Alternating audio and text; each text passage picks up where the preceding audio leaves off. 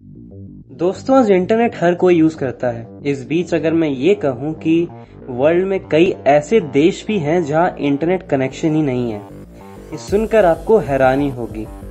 इन regions में internet ना होने के कई रीजन हैं। जैसे कई जगह गवर्नमेंट ने इंटरनेट बैन कर रखा है तो कई जगह इंटरनेट कनेक्टिविटी ही नहीं है। हमारे देश भारत में भी कई आईएसपी हैं, यानी इंटरनेट सर्विस प्रोवाइडर्स जैसे Airtel Jio and many more but फिर भी आज के टाइम में इंटरनेट यूज़ करते वक्त हमें काफ़ी बफरिंग प्रॉब्लम फेस करनी पड़ती है।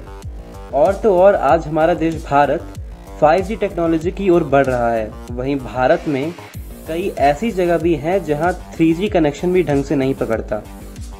इन सब प्रॉब्लम के कई रीज़न हैं जिन पर हमारे इंटरनेट सर्विस प्रोवाइडर्स काम कर रहे हैं। बट फिर भी ये प्रॉब्लम्स ठीक होने में काफ़ी समय लगा सकती हैं।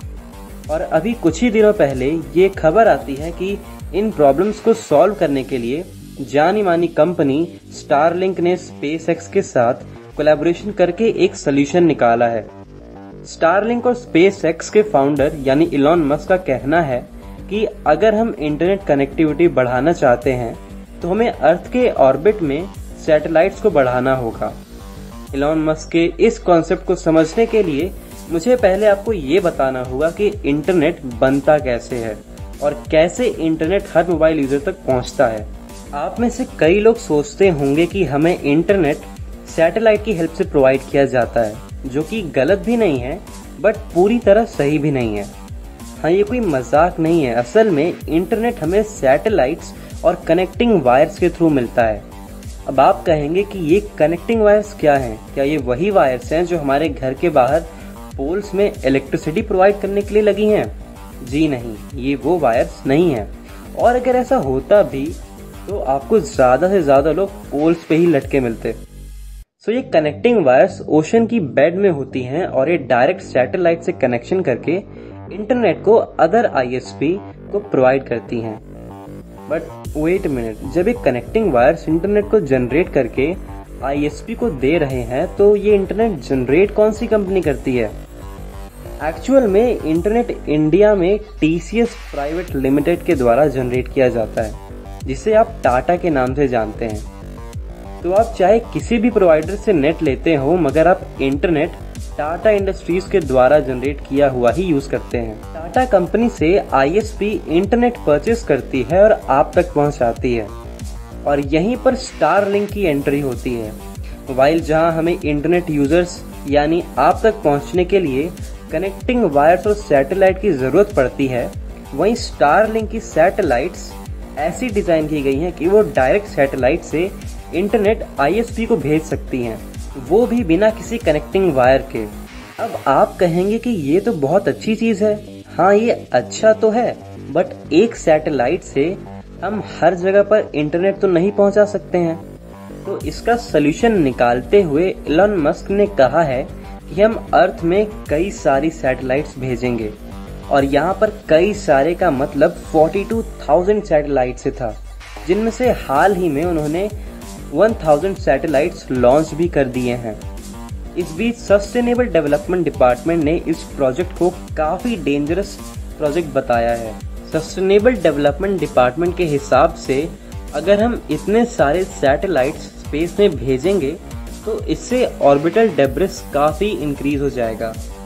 ऑर्बिटल डेब्रिस का मतलब होता है स्पेस में पड़े हुए अनवांटेड पार्टिकल्स यानी वो सैटेलाइट्स जो कि काम नहीं करती हैं।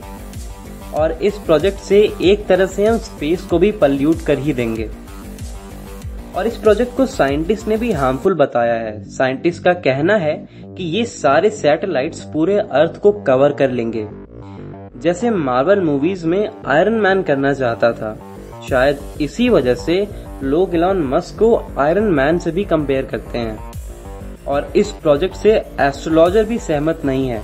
बिकॉज़ उन्हें लगता है कि इतनी ज़्यादा सैटेलाइट्स होने की वजह से हमें स्टार्स और सैटेलाइट में फ़र्क ही नहीं पता चलेगा, क्योंकि इलॉन मस्क ने जो सैटेलाइट्स डिज़ाइन की हैं, वो शाम के समय स्टार की तरह शाइन करती हैं, जिसकी वजह से एस्ट्रोलॉजर को रियल स्टार्स और सैटेलाइट में डिस्टिंग्विश करने में मुश्किल आ सकती है। इलॉन मस्क की सैटेलाइट स्पेस में कुछ इस तरह दिखेंगी। और यहाँ तक कि मीटेरॉइड और सैटेलाइट में भी कोई डिफरेंस नहीं पता चल पाएगा, जिसकी वजह से डिजास्टर का खतरा भी बढ़ सकता है। और हम ऐसे किसी डिजास्टर का पहले से पता भी नहीं लगा पाएँगे। इस पर इलॉन मस्क ने रिप्लाई देते हुए कहा है कि वो अपने सैटेलाइट्स को ऐसा डिज़ाइन करेंगे कि वो स्काई में बिल्कुल भी ना दिखें। बट अकॉर्डिंग टू नासा ये चीज़ पॉसिबल ही नहीं है। बट जैसा कि हम जानते हैं कि इलॉन मस्क को इम्पॉसिबल वर्ड से नफरत है तो वो कुछ भी कर सकते हैं। और तो और स्टारलिंक ही एक ऐसी कंपनी नहीं है जो ये काम करने वाली है। कई और कंपनी जैसे अमेजोन की वन वेब और चाइनीज़ स्पेस एजेंसी ये सब प्लान्स कर रही है सेम इलॉन मस्क की तरह, जिसको साइंटिस्ट ने अर्थ के लिए खतरा बताया है। अगर इतने सारे सैटेलाइट्स हम ऑर्बिट में लॉन्च करते हैं तो मंजर कुछ भयानक होगा। तो क्या लगता है दोस्तों, क्या स्टारलिंक सक्सेस हासिल कर पाएगा या ये प्रोजेक्ट्स बंद करने पड़ेंगे? कमेंट सेक्शन में ज़रूर बताइएगा। और अगर आपको इलॉन मस्क के ऊपर एक सेपरेट वीडियो चाहिए तो कमेंट सेक्शन में लिखकर ज़रूर बताएँ। तो आज के लिए बस इतना ही। मिलते हैं नेक्स्ट वीडियो के साथ। गुड बाय जय हिंद।